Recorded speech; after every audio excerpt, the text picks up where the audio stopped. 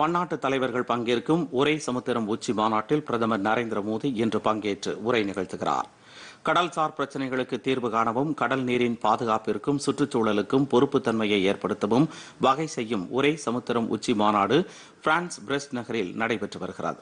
உலக வங்கி ஐநா சபை மற்றும் பிரான்ஸ் அரசின் ஒத்துழைப்போடு நடத்தப்படும் இந்த மாநாட்டின் பிரதான நோக்கம் நீடித்த கடல் சுற்றுச்சூழல் அமைப்பை உருவாக்குவது ஆரோக்கியமான கடல்சார் வளங்களை பாதுகாப்பது ஆகும்.